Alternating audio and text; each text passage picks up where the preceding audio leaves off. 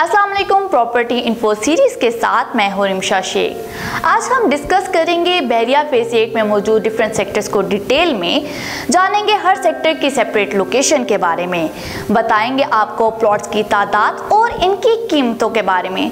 साथ ही साथ आपको हर सेक्टर में मौजूद सहूलियात के बारे में भी आगाह करेंगे, ताकि नेक्स्ट टाइम जब आप प्लॉट खरीदें तो आपको प्लॉट का इंतखब करने में आसानी हो। तो चलिए स्टार्ट करते हैं। बैरिया फ़ेज़ एट में इस वक्त 16 सेक्टर्स अवेलेबल हैं, जिनको ए से लेकर पी तक डिफरेंट कैटेगराइज किया गया है। बैरिया फ़ेज़ एट के सेक्टर ए की बात करें तो इस वक्त टोटल प्लॉट्स की तादाद 2500 है, जिनमें से 1301 कनाल, जबकि 1210 मरला के प्लॉट्स अवेलेबल हैं।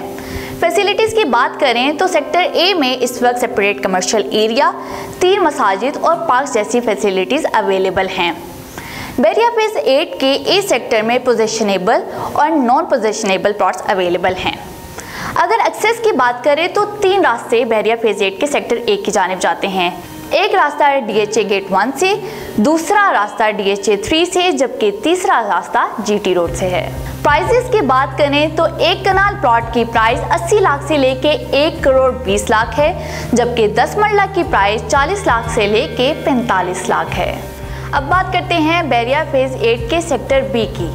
तो सेक्टर बी में इस वक्त टोटल प्लॉट्स की तादाद 820 है, जिनमें से 120 एक कनाल के प्लॉट जबकि 710 मरला के प्लॉट अवेलेबल हैं।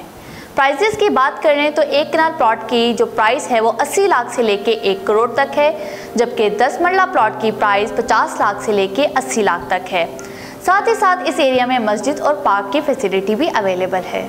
प्रॉपर्टी इन्फो सीरीज़ की आज की एपिसोड से बस इतना ही। लेकिन अभी ये सीरीज़ खत्म नहीं हुई। हम दोबारा आएँगे और नई इन्फॉर्मेशन के साथ आएँगे। तब तक रिम शशि को इजाज़त दीजिए। अल्लाह हाफिज़।